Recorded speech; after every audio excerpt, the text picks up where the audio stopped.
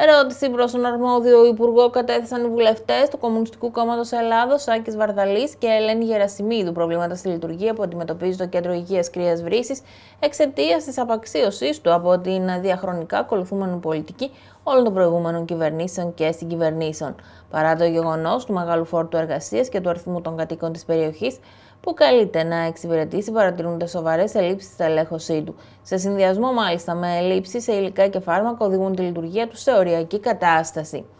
Χαρακτηριστικές είναι οι ελλείψει σε ιατρικές ειδικότητε όπως παιδιάτρου, οδοντιάτρου, ακτινολόγου, μικροβιολόγου, γυναικολόγου, χειρουργού, φαρμακοποιού, με ό,τι αυτό συνεπάγεται για τις ανάγκες του λαού της περιοχής σε υπηρεσίες υγείας που μένουν ακάλυπτες.